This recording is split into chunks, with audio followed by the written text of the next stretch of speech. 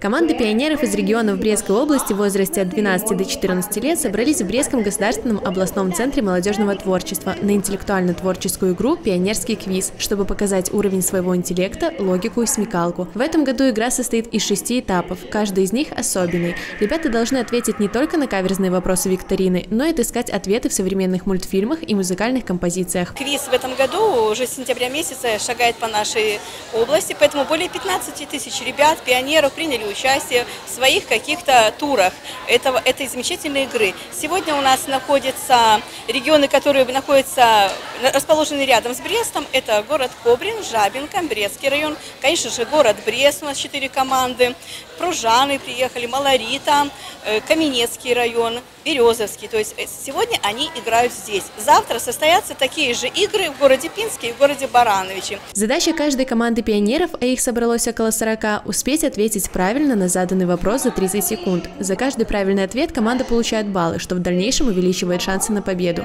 Многие участники долго и основательно готовились для того, чтобы получить максимальное количество очков. Наша команда заняла второе место в районе, и я этим горжусь. Готовились мы достаточно долго, было сложно, нам давали много материала, чтобы выучить, и думаю, мы покажем достойный результат. Тема игры областного этапа посвящена спорту, в особенности вторым европейским играм, а также олимпиадам и знаменитым спортсменам Беларуси. Пионерский квиз – это не только командное соревнование, но и вид интеллектуального отдыха, а еще это отличная возможность найти друзей. Для начала мы посещали школьный кружок «Что, где, когда», и там мы познакомились. В нашей команде два мальчика и четыре девочки.